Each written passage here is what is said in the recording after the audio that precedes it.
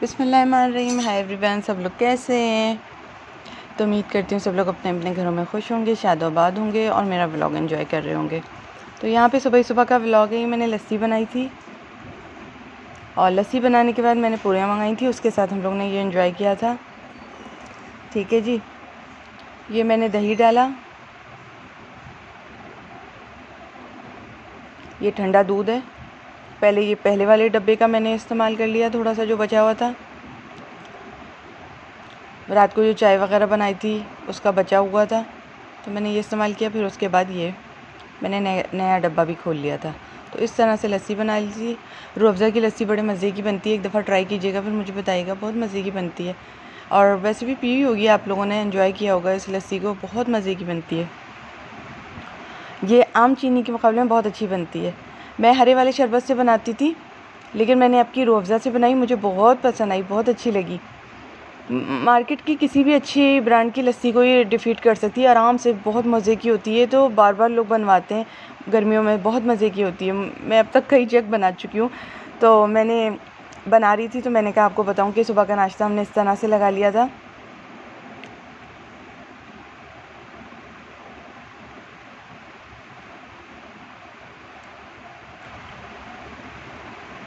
फिर इस तरह से मैंने रात की बिरयानी भी गर्म कर दी थी थैली में। ये मैंने कहा, जो खाएगा वो खा ले।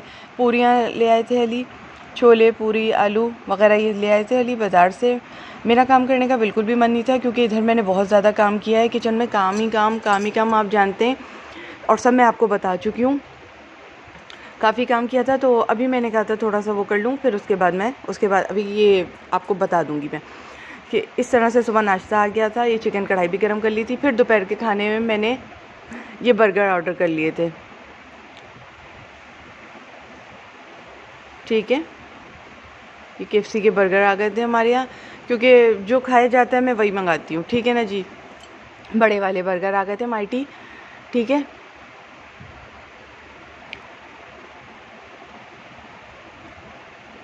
खाने इसलिए नहीं गए कि दस दिन चल रहे थे अभी। मुहर्रम के तो अच्छा नहीं लगा, इसलिए खाने नहीं गए थे। इसलिए हमने ऑर्डर मंगवा लिया था और मैंने काम नहीं किया था। बिल्कुल भी मुझसे उठा ही नहीं जा रहा था। इधर काफ़ी डेली काम कर रही थी, बर्तन वगैरह धोना, सब कुछ करना, माशाल्लाह पूरा पूरा न्याजें संभालना, माशाल्लाह माशाल्लाह माशाल्लाह, सब कुछ करना। तो दोपहर तक मैंने ये मंगाया। पहले मैंने हलवा पूरी मंगाई थी, लस्सी बनाई थी सुबह और फिर मैंने बीच में फिर बर्तन धोए थे, फिर उसके बाद दोपहर में थोड़ा सा लेट गई थी तो उठा नहीं जा रहा था तो फिर उसके बाद जब उठी तो मैंने ये ऑर्डर करवा दिया दोपहर के खाने में। ये हम लोग खा रहे हैं, मैंने तो खा लिया, मेरे हस्बैंड ने खा लिया, अब ये थोड़ा सा बचा हुआ है, बच्चे खा रहे हैं। तो उसके बाद ये, क्योंकि माइटी बर्गर होता है, बड़ा होता है, बच्चों से इतना खाया नहीं जाता। अच्छा ये फिर आ गया। किस दिन का व्लॉग नौ का, नौ मुहर्रम का। नौ मुहर्रम को यानी कि आठ मुहर्रम की रात। यह हमें रात में आ गई? ये मैंने हलीम लिया है और हमारे नौ मुहर्रम को हलीम बनती है।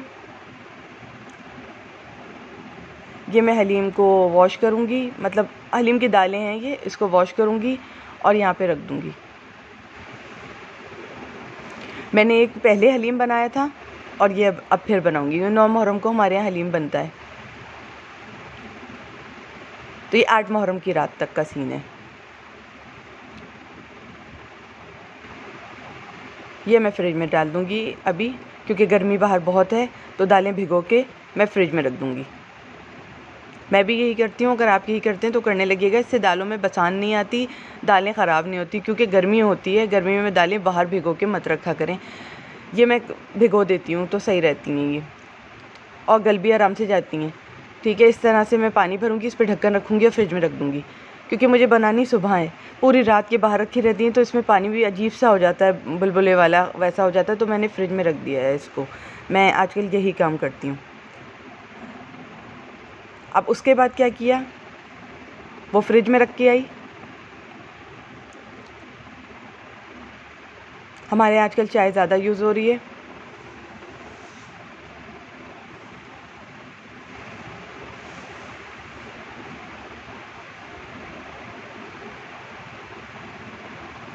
ये उस वक्त का सीन है, जब मैं चाय भर रही थी। लिप्टन तो बहुत प्राइस में ऊपर हो गई है, बहुत ज़्यादा प्राइस में ऊपर हो गई है भाई। तो हम लोग ये सुप्रीम ले आए थे। अच्छा फिर उसके बाद मैंने क्या किया? अभी मैं आपको बताती हूँ, मैं किचन में आई तो और मैंने खाने बनाने शुरू कर दिए। खाने जो बनाए उसकी भी रिकॉर्डिंग ले ली और आपके साथ मैंने डाली अभी।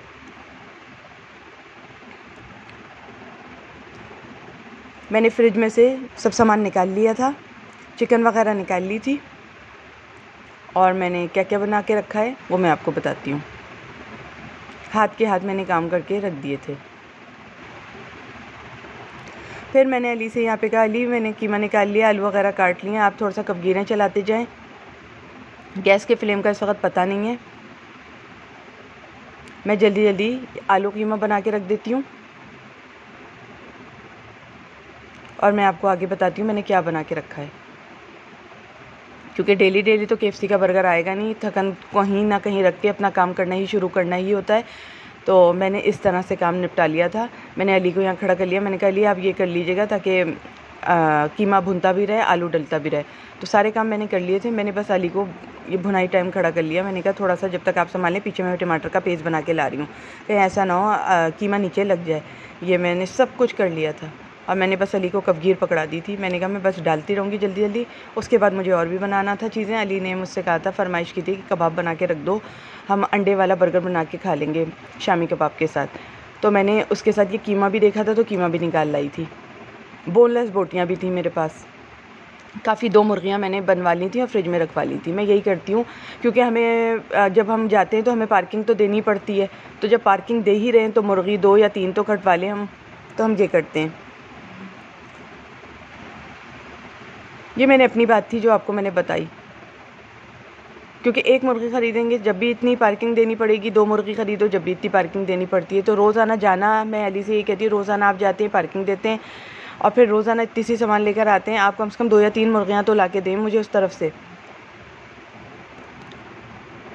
तो मेरा तो ये सिस्टम है, मैं दो या तीन मुर्गियाँ कटवा लेती हूँ, और फिर मैं फ्रिज में रख देती हूँ, अपने हिसाब से पुलाव, शामी कबाब, कीमा आलू ये सब बना बना के फ्रिज में रख देती हूँ। पुलाव का ये यखनी पका के फ्रिज में रख देती हूँ और फिर चावल डाले, यखनी तो पहले से तैयार होती है मेरी, मैं खाना बना लेती हूँ। फिर मैंने यहाँ पे बोटियों को वो कर लिया था, पानी में डाल के रखा हुआ था, उधर मेरा कीमा तैयार हो गया। इधर मैंने शामी कबाब चढ़ा दिया कि जब ठंडे हो जाएँगे तो मैं पीस लूँगी। शामी कबाब की रेसिपी किसी ने नहीं देखी तो देख लो, बहुत ईजी तरीके से बताती हूँ। एक रिक्वेस्ट आई थी मेरे पास कि मुझे बता दें, आप कैसे बनाती हैं? तो वो रिक्वेस्ट अब पूरी हो रही है, हालाँकि वो आई थी छः महीना पहले।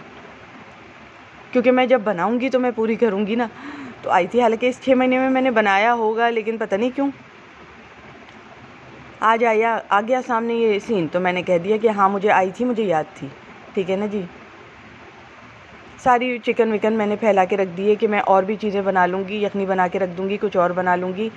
तो मैं ये सब काम करके रख देती हूँ, वरना फिर मैं जब काम करके आती हूँ, बर्तन वगैरह धो के आती हूँ, बहुत ज़्यादा वो हो जाता है। ये दो ब्रेसेस थे चिकन के, ठीक है? एक डाला पहले और एक बाद में डाला। ये दो ब्रेसेस का था। थोड़ा सा लाल मिर्ची डाली। मेरा तरीका यही है, दो प्याज़ें डाली चकोर चकोर काट के। इसको नमक डाला, मिर्ची, नमक। आप अपने हिसाब से रखिएगा हमेशा। वहाँ अली खड़े हुए सेंक पर। उनसे यखनी के लिए मैंने कहा था, चिकन थोड़ी सी देख लें। और ये मैंने धनिया डाला, दो चम्मच के बराबर, क्योंकि हम ज़्यादा कबाब बना के रख रहे हैं, शामी कबाब डीप फ्रीज़र में रखे रहेंगे, हमें आसानी हो जाएगी इन ताला। तो हम तो यही करते हैं, जिस दिन हम थक जाते हैं, हम ये सब पका के रख देते हैं, अगर गैस आ रही होती है। ये मैंने हल्दी डाली इसमें। शामी कबाब बहुत क्विक एंड ईजी बनाती हूँ, बहुत जल्दी बन जाते हैं मेरे। मैं तो यही मसाले डालती हूँ। अभी अदरक लहसुन का पेस्ट भी पड़ेगा इसमें। और आपकी कैसी गुजर रही है? जब ज़ाहिर सी बात है, रोज़ाना इंसान काम करता रहेगा तो वो थक जाएगा तो इसलिए मैंने कहा, अभी मुझ, मैं यहाँ आई हुई हूँ। मैंने ये काम कर दिए थे, हलीम मैंने पानी में डाल के, भिगो के, हलीम की जो दालें थी वो रख दी थी, वो सुबह बन जाएँगी, लेकिन ये खाने मेरे पास सेफ़ रहेंगे। क्योंकि मेरे यहाँ ना अली, हलीम नहीं खाते। ये चने की दाल आ गई थी उसी पैकेट में तो अब ये मैं धो के लाती हूँ और इसमें डालती हूँ, आपको बता रही हूँ। अच्छा क्योंकि हली, अली जो है, हलीम नहीं खाते। हैं अली कहते हैं, हलीम खाने से ना पेट नहीं भरता। वो अली की आदत है कि फिर तंदूरी रोटी हो उसके साथ, मज़ा आता है अली को। लेकिन मैं अली को हलीम के साथ तंदूरी रोटी खाने ज़्यादा देती नहीं हूँ कि हलीम भी हैवी और तंदूरी रोटी भी हैवी तो फिर फिर अली कहते हैं, कबाब वगैरह होना चाहिए, मेरे लिए चिकन कढ़ाई होनी चाहिए। फिर तो मैं फिर ये बना लेती हूँ। इसलिए मैं हलीम कम ही बनाती हूँ, क्योंकि अली को पसंद इतना है नहीं हलीम। अली पुलाव वगैरह माशाल्लाह कहते हैं, होना चाहिए या चिकन कढ़ाई होनी चाहिए, कबाब होने चाहिए, इस तरह के खाने को ज़्यादा अली लाइक करते हैं। तो बातों बातों में मैंने आपको बता दिया, मैं उसके साथ ये सब सामान रखती हूँ कि बाद में तल के मैं अली को दे दूँगी कबाब वगैरह, अगर अली हलीम लाइक नहीं करेगा मेरा। तो मैं अपने अली के फरमाइश को जानती हूँ। मेरा अली हलीम खा लेता है, लेकिन हलीम से वो कहता है, पेट नहीं भरता मेरा। और अली की आदत है बार बार खाना खाने की, नहीं है, बिल्कुल। तो यहाँ मैंने साइड में चिकन कढ़ाई चढ़ाया, थोड़ा सा। ये मैं, इसकी भी वीडियो आपको डाल दूँगी। मैंने ये भी काम शुरू कर दिया था, इसकी भी वीडियो मैं आपको डाल दूँगी।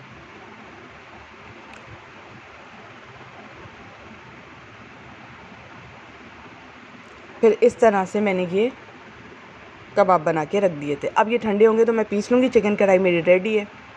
तो मैंने गैस के जाने से पहले पहले ये सब काम कर लिए थे और आपको मैंने बता भी दिए, मैंने ये काम किए थे। ये नौ तारीख का मेरा व्लॉग था। अब मिलते हैं मेकअप हेल्थ फिटनेस पे नए व्लॉग के साथ। अब देखें मैं क्या डालती हूँ वहाँ पे। ठीक है? इस तरह से मैंने कबाब भी तल दिए थे। ठीक है जी? मेकअप हेल्थ फिटनेस पे अब देख लीजिएगा, नया व्लॉग आएगा अब। अब फिर उसके बाद मैं हेल्थ फिटनेस पे, फिर यहाँ पे आ जाऊँगी मैं कुकिंग फ़ूड भी शॉर्टकट पे, नीचे डिस्क्रिप्शन बॉक्स में बफर में बटन दूँगी, देख लीजिएगा। आज तो मेरा तो ज़बान भी साथ नहीं दे रही है। आज मैं बहुत थक गई थी, लेकिन फिर भी मैंने रिकॉर्डिंग ली और आपको मैंने डाल दी।